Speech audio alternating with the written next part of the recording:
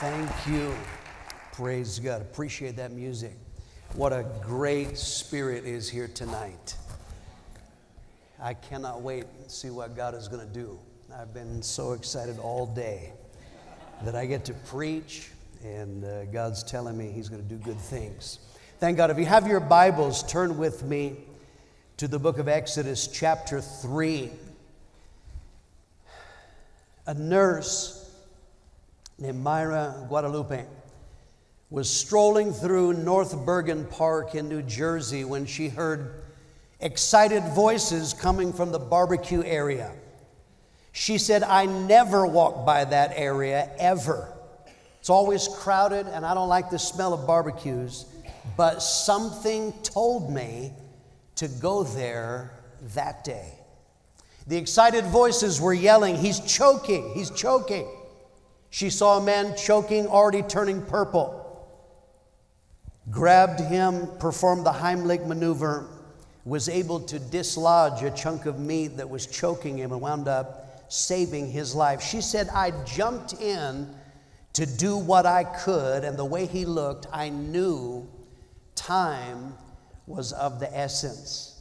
Think about what she said. Something told me to go there that day. And listening to that voice saved a man's life. The scripture that we're going to read, Moses hears a voice in the fire.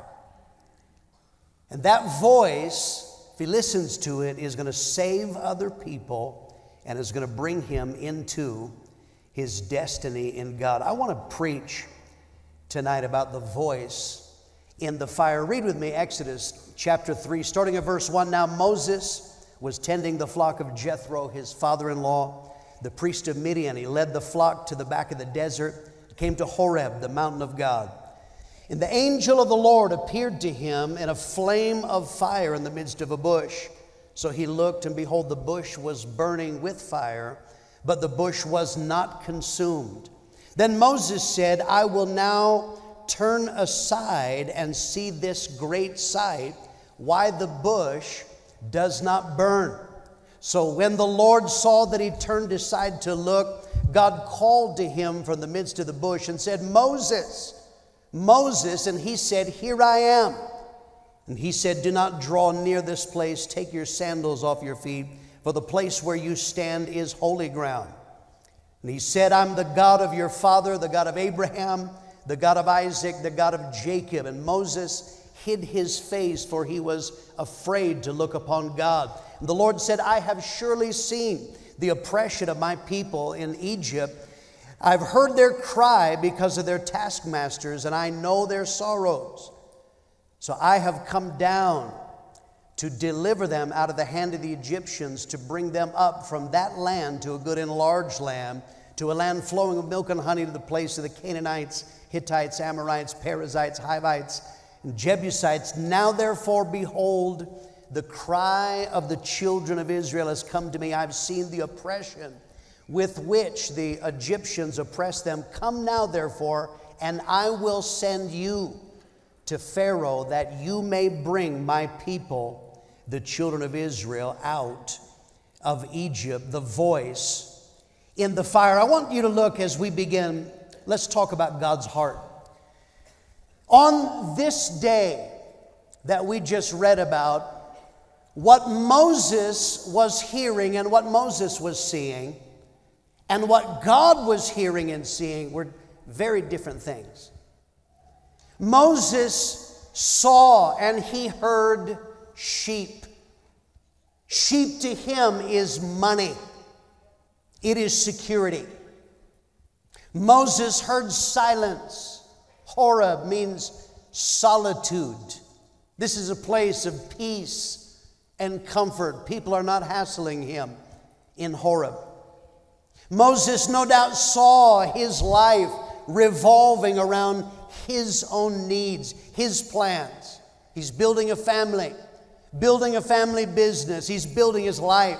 He's been there already for 40 years. And perhaps it will be that life will continue. He's going to hear and see the same thing. But God interrupted Moses. Because what God saw and what God heard was very different. Verse 7 The Lord said, I've seen the oppression of my people in Egypt. I've heard their cry because of their taskmasters, and I know their sorrows. This is God. As we're gathered here tonight, God is looking down. He sees what people are going through, He sees their poverty, He sees people addicted in various ways. God says, I can see what other people are doing to them, the abuse that they're suffering. That is what God can see. He can see the physical and the sexual abuse. God says, I can hear their cry. Sometimes it is literal tears that God can see. God can hear the prayers of people who aren't even sure they can they believe in God. Is there any hope? Will it always be like this? God can see the desperate acts that sometimes are a cry in themselves. He sees people that they act in rage and violence because they're filled with guilt and hopelessness. He sees people that will cut and abuse their own bodies. God says, That is what I see, Moses. That is what I hear. In the 1920s, U.S. submarine sank in 150 feet of water. In those days, they had no way to dive to save these people. Hours went by. Those that were listening on sonar to, for any indication of life, they heard the tapping on the hull, realized this was in Morse code.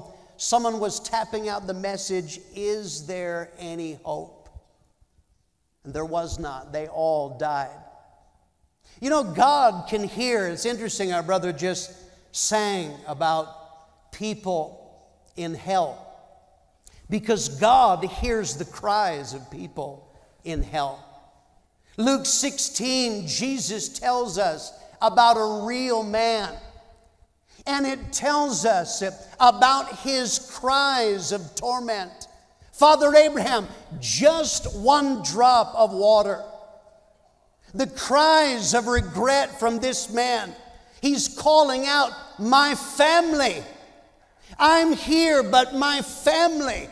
I don't want them to be there here with me. And 2,000 years later, that's a real man. He's still there. God can hear that while we enjoy our lives. God says, I'm hearing something very different. And Jesus tells that story because he says, I don't want people to go there. What God wants is He wants us to hear what He hears and to see what He sees. You know what this is powerful about this scripture? Is God is telling Moses, You are the answer to someone's desperation. Verse 10 I will send you to Pharaoh that you may bring my people, the children of Israel, out of Egypt. He didn't just say, Moses, you know about the answer. He said, You are the answer. They're crying in Egypt. They don't even know what they're actually crying for is God. How is God going to come into their life? Through Moses. And that may be while we're gathered here tonight that there are people uh, in uh, places scattered all around the globe they are crying out for you because you are the answer. That brings us to the issue of calling. God's plans for our life. Here's, here's Moses. He has a plan in life, but God says, I have chosen something for you, Moses. I have plans of what I want. I want you to be a deliverer. That is true of every person here. God makes plans for our lives. Jeremiah 1 5. Before you, uh, I formed you in the womb, I knew you. Before you were born, I set you apart and I appointed you as a prophet to the nations. Here is calling. Specific people that we are chosen by God to reach with the gospel. Moses is given, there's people in Egypt. One of the people who was living in Egypt was a young man named Joshua. Moses is going to make impact on Joshua, is going to rescue him, and then is going to train him to fulfill his destiny in God. We have each night heard reports, people who sat on those chairs and came and reported him what God was doing. Do you know what? Before they ever got to this point, is there was someone chosen by God who went where they were. And God knew before they ever got there that someday they'd be sitting on this platform. Someday they would be reporting, chosen by God. I have chosen specific people. I look out over this crowd and I wonder who is it that God has chosen for you to reach? God already knows their names. Specific cities, it may be that God has chosen a specific city that you will make impact in. You might not even have heard of the city that God has chosen. There are people living there right now. And it may be that God will want you to go and you will make impact in an area. That is, that's calling.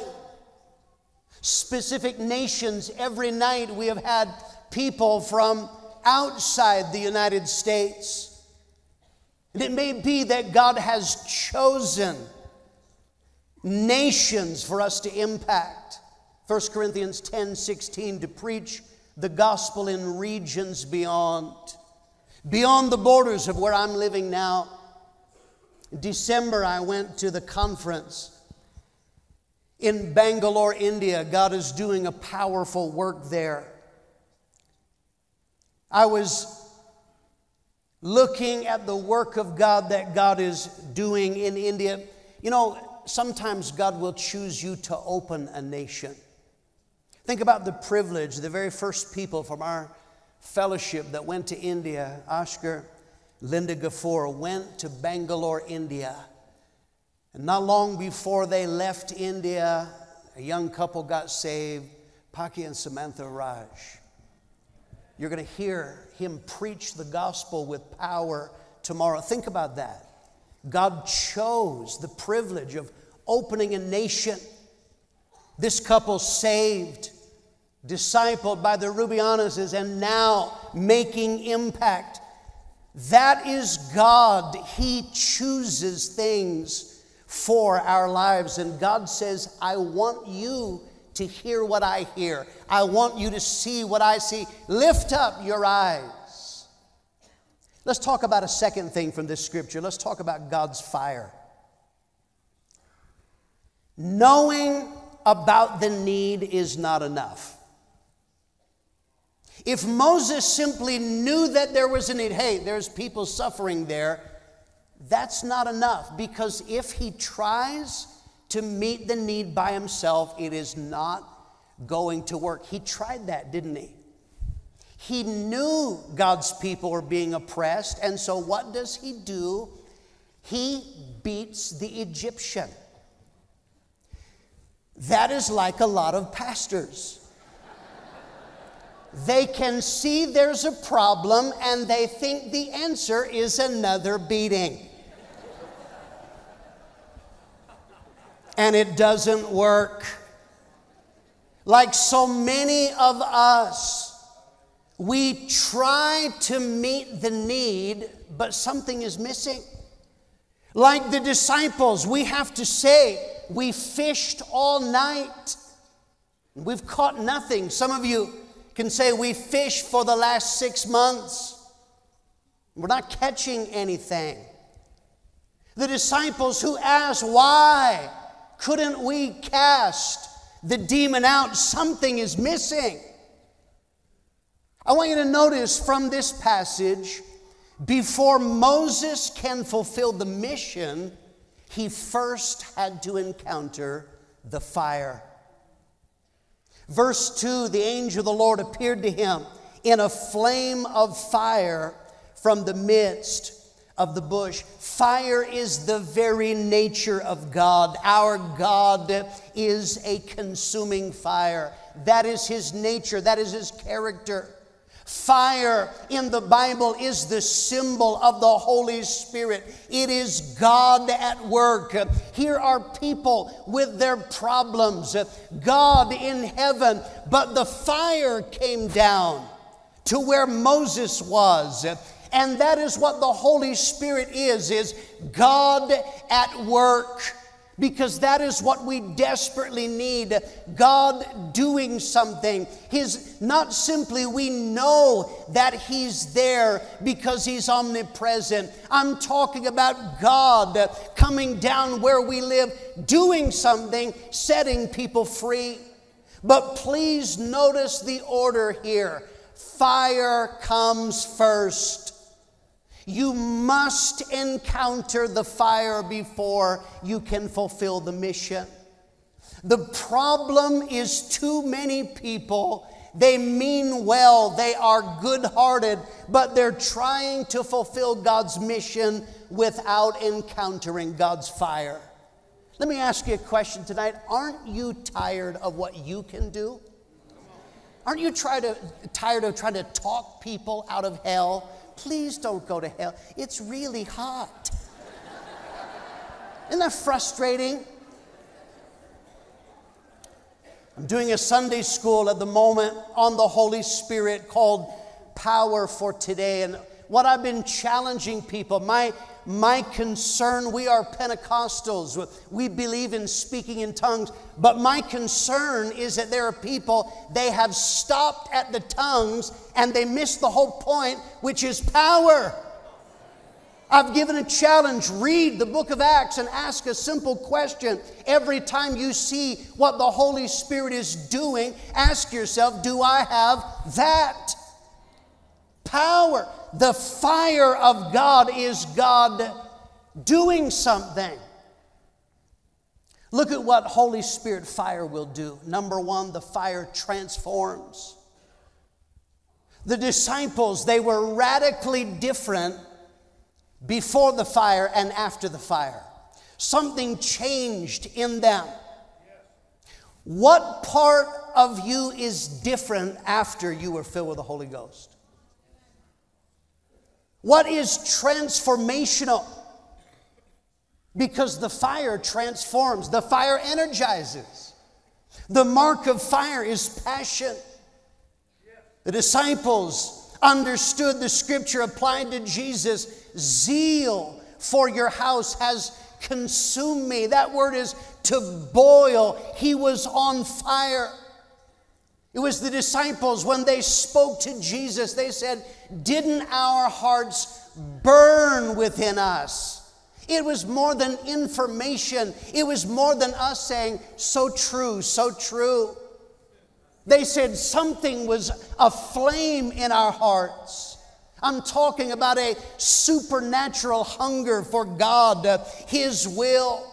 We talk about people being on fire. Our word in English, uh, enthusiasm, it literally is full of God. That's what the word means. Passion. And the fire enables. Think about God's task that He's calling Moses to. Moses, you and your brother are going to go into the most powerful nation on earth at that time.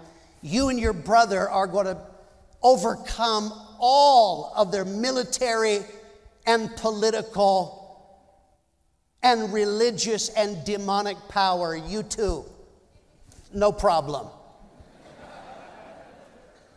That is an impossible task. Not only does Moses not have what it takes, but God knows he's going to face stubborn people huge problems. He's going to fight supernatural enemies. But God says, if you encounter the fire first, none of those things matter. The fire will be enough. to overcome all of that. God is going to give him an ability to speak, whether that is boldness or whether that is supernatural effectiveness. Acts 2:37 when Peter stands up to preach the Bible says when they heard this they were cut to the heart and said to Peter and the rest of the apostles Men and brethren, what shall we do? You can read the words. I don't know if, if the sermon is impressive or not. What was impressive is Holy Ghost fire did more than Peter could do. There was a response, supernatural conviction. That is what we want, whether we're talking about witnessing, testifying, or preaching. We want God doing more than we can do, saying more than we can say. My Sunday school a couple of weeks ago, I was pointing out on the day of Pentecost. The miracle was not that they spoke different languages, it's that the people each heard in their own language. And I made the comment is the Holy Spirit can cause people to hear whatever He wants them to hear, whatever they need to hear. Young man in our church came up to me afterward, Chris Wagner. He said before he was saved, he wanted to date a girl in our church, and she told him, No, you're not a Christian. So he said to himself, I can play the game. I'm just going to come to church and play the game, act like a Christian so I can date the girl. Never been to church before, came into the service the first time, and I was preaching, and he said, You started preaching, and you said, Some of you are just playing the game. He said, You need to stop playing games with God. And he said, You just kept saying it over and over in the service. While he's telling me, I'm thinking, That doesn't sound like me. He said, Finally, I said, All right, you got me. The altar call lifted his hand, came down, and got saved. Afterwards, he's telling the mother of the girl he wanted to date, he said, Man, that guy was saying exactly what I was thinking. He kept saying, You need to stop playing the game. And she said, No, he wasn't. He was preaching on tithing.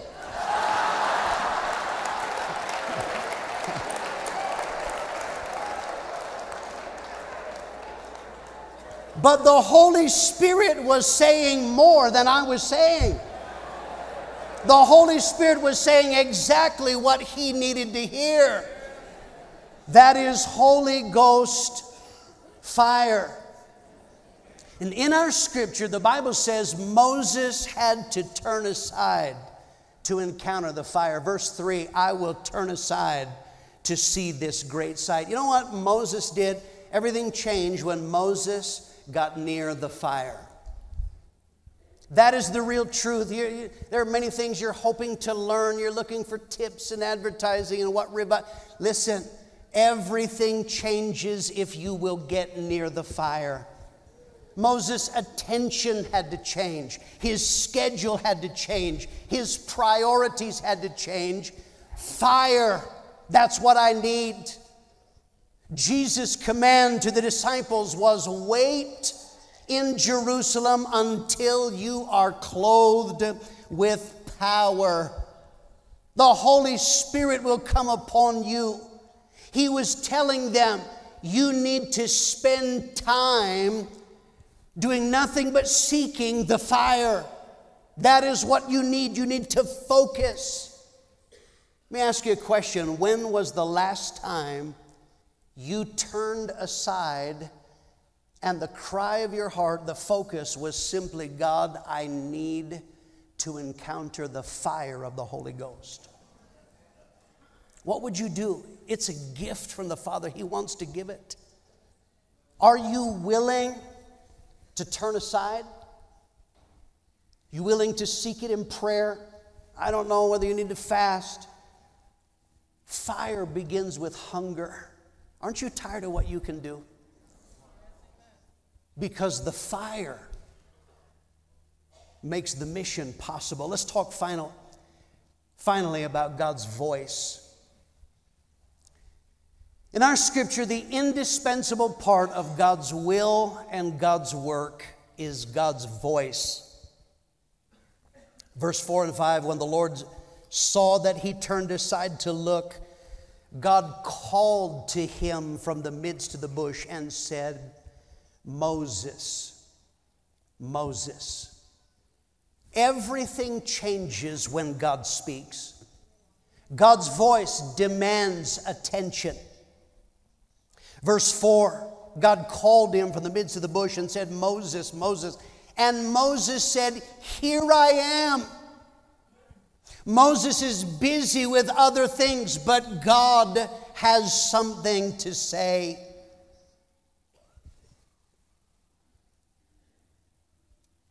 God began to speak to Moses when he turned aside. God's voice sometimes it interrupts. It's not convenient. God may tell you something that wasn't on your agenda. God spoke to me. 1995, God told me, I want you to go to South Africa. I was not thinking about it, wasn't planning on that. God spoke. He has that right. You know, what really has to happen is we have to open ourselves to God's voice. Eli told Samuel, Say this, speak Lord, for your servant is listening. In prayer, prayer is not simply giving God your shopping list. Part of prayer is also asking, What do you want to say? I pray that you have come to conference with this Spirit God this week. I need you to speak. What do you want to say? Because if God speaks, that makes all of the difference. God's voice contains an instruction. Take your sandals off your feet.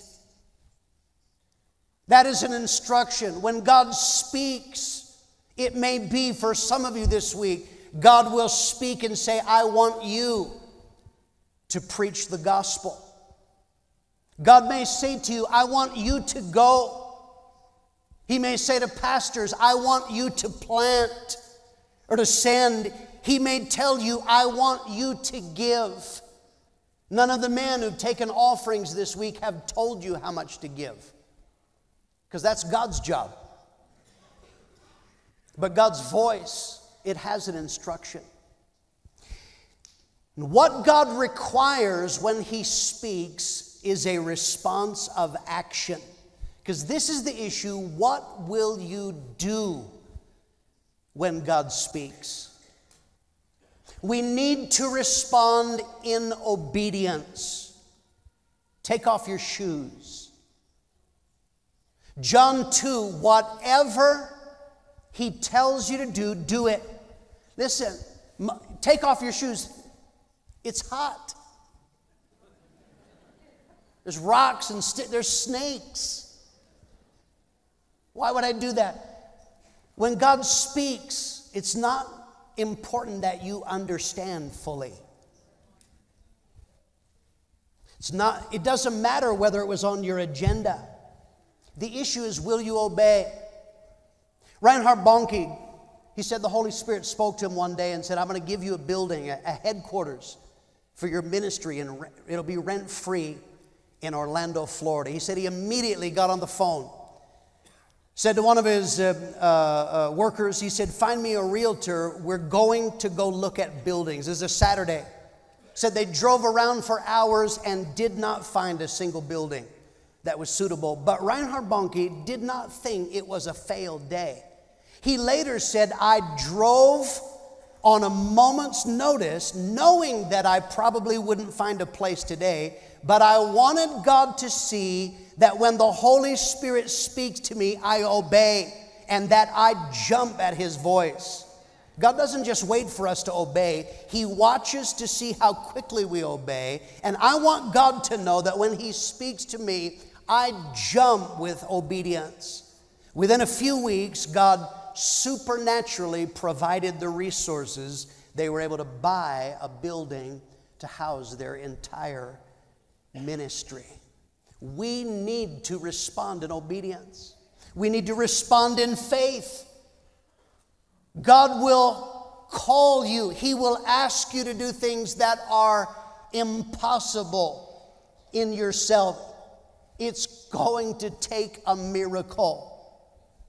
Without Him, He will ask you to do things that will not work. With listen, if all He wants you to do is things you could do without Him, what do we need Him for? No, He asks us to do. Listen, Moses, you and your brother, no problem. Whole nation, you'll win. That takes faith to give what God says. Some of you, it's like, get behind me, Satan. That's clearly from hell. Whatever God tells you, God's voice is progressive. Jesus said it works like this first the blade, then the ear, then the corn in the ear. It's progress. God will only tell you as much as you will obey. Abraham was told, Get out of where you live and go to a land that I will show you. Tell me where we're going, and then I'll. No, you just go. That's your job. He's only going to tell you as much as you obey. In the early days, when I first was seeking God for miracle healing, praying for the sick. I, I wanted God to give greater miracles. I, in a service, had a man come down. He came limping very badly. That day at work, he had dropped a huge lump of metal on his foot. He's in pain. I said, okay, he told me the problem. I could see how much pain he was in. I was about to pray for him, and the Holy Spirit said to me, Step on his foot. I'm thinking, I don't think he's going to be as excited but I'm asking God, I want miracles, and that's what God told me. I didn't tell him what I was going to do. I said, okay, let's pray. And while I was praying, I just kind of put my foot on top and pushed. And he wins for a second, and all of a sudden he said, It's gone. He testified Pastor Greg stepped on my foot. I was not very happy, but he said, But the pain left. Thank God. Listen, that was great because it worked. You know, God has told me to do other things that have not worked. But the point was not, does it work or not? The point was, that's what He told me to do. And I want Him to tell me more so, my job is to progressively obey. You know what? Encountering the fire and responding in obedience triggers a supernatural dimension of God. Here's Moses. When he comes to the fire, then it is that God gives him the staff that will miraculously turn into a snake. His hand, when he puts it in his coat, turn leprous and, and then it gets healed. God did 10 supernatural miracles and plagues that overcame resistance. This is God at work. Moses obeyed God. After he encountered the fire, God went to work and took the field on their behalf.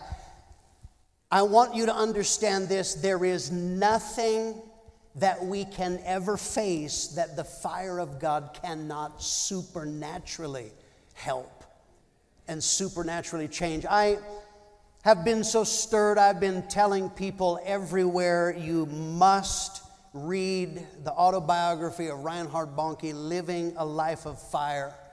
It, it is incredibly inspiring. He just passed away in December. They said 79 million people were saved at his ministry. But he tells the stories, and it is full. I just want to tell you what. He said the first time he preached a revival meeting, he was asked to preach in Kimberley, South Africa. He said the first night when he preached, there was not one young person. Every person in the building was old. After the service, he asked the pastor, he said, Where are all the young people? And he said, You want to know? I'll take you. The pastor drove him This is in the 70s, in the days of disco and drove him to a building. It was a disco. He could hear the music throbbing. He said, That's where all the young people are. They're not coming to church, they're in the disco. The pastor asked him, He said, You want to go in and see? And, and Reinhard said, Absolutely not. But he said he felt the Holy Spirit tell him to go into the disco. And he goes in, a lot of details. But he winds up, said, Take me to the owner.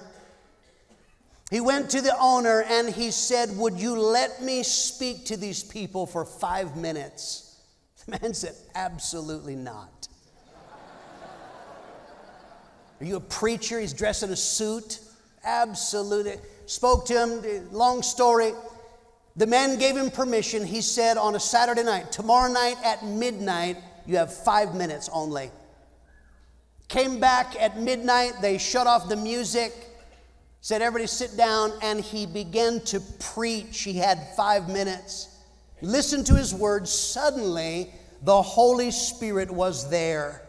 The wind of God blew into that disco. Suddenly, I heard sobbing. I saw young people getting out their handkerchiefs and wiping their eyes. They were crying everywhere. He pulled an altar call, and everybody in the disco got saved. One year later, listen to this. One year later, he went back to preach for the same pastor.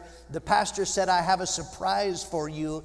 He drove to the building that was a disco a year ago, and instead of neon signs, uh, he saw a cross. Uh, he said so many of them were saved. Uh, they planted a church.